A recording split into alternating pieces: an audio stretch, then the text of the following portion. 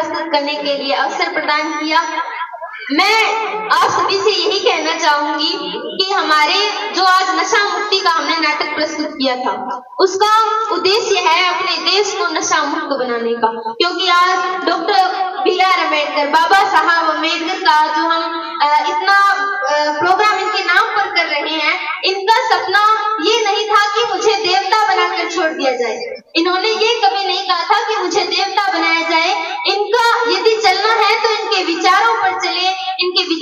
समझे। इनका सपना था देश का विकास, देश की समृद्धि। और रही बात सर ने बार बार आए थे कि ठंड बहुत ज़्यादा है, और ठंड पर हम सभी कह रहे थे कि हमने समय निकाला। हम अपने आप पर गर्व कर रहे हैं कि हम इतने ठंड में हमने अपना कीमती समय निकाला। लेकिन यदि मैं बात करना चाहूँ, भारत माता के उन वीर सपूतों की जो आज हमारी रक्षा के लिए बॉर्डर पर खड़े हैं, सीमा पर खड़े हैं, ठंड तो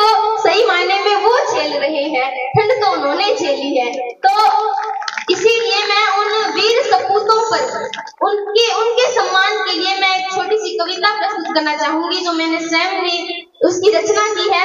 मैंने यह कविता एक भारत माँ के वीर शहीद पर लिखने का प्रयास किया है। आशा करूँगी कि आप सभी से ध्यान पूर्वक सुनने का प्रयास करेंगे। कविता कुछ इस प्रकार से है कि चाहे गर्मी हो या सर्दी, चाहे गर्मी हो या सर्दी, धूप हो या छाव बीमार हो या स्वस्थ पर भूलते नहीं हो तुम अपना वतन, पर भूलते नहीं हो तुम अपना वतन। कि गर्व है हमें तुम जैसे जवानों पर।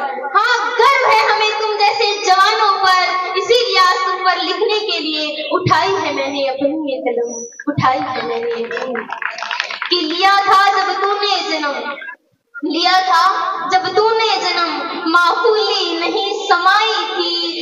टीका लगाकर बुरी नज़रों से तुझे बचाई थी बुरी नज़रों से तुझे बचाई थी कि सलाम है तेरे उस पिता को हाँ सलाम है तेरे उस पिता को, जिसने उंगली पकड़ के अपने कदमों पर तुझे चलाया था, कहानियाँ सुना सुना के वीरों की तुझे एक ऐसा वीर बनाया कि तुझ पर गर्व करते करते देश फूला नहीं समाया, कि तुझ पर गर्व करते करते देश फूला नहीं समाया।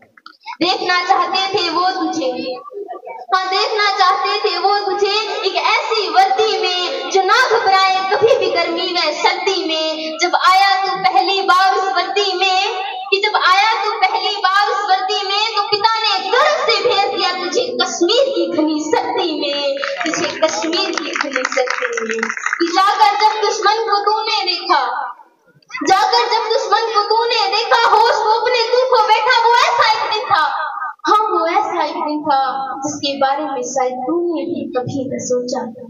कि वर्षा हो रही थी, गोलियों की दो दिशाओं से धंधरा धंधरा आवाज़ ही बस तो सुन पाया था, पर तू भी भारत माँ का लाल, जरा भी ना घबराया था। पर तू भी भारत माँ का लाल, जरा भी ना घबराया था। कि बहुत गोलियाँ दुश्मन पर तूने बरसाई। हाँ उस दिन बहुत गोलियाँ दुश्मन पर तूने बरसाई थी, पर उनकी गोली उड़कर तेरे सीने में भी लगाई थी शायद तक और सोना चाहता था भारत माँ की गोद में। तभी तो मिल गया शहीद का नाम तुझे, शहीद का नाम कि फिर घर आई थी सेना की एक टोली। पकड़े तिरंगा हाथ में, कि पकड़ा दिया कफन तेरे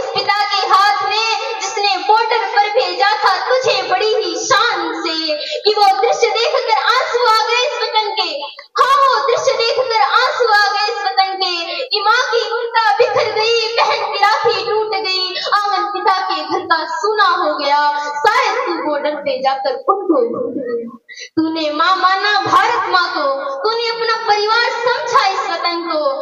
आँसू आ गए मेरी इस कलम के, तेरी गौरव गाथा लिखने में। हृदय से सलाम करके तुम वीरों को, बस अब समापन देती हूँ अपनी कविता के इस पहरे को। अपनी कविता के इस पहरे को। धन्यवाद। जय हिंद, जय भारत।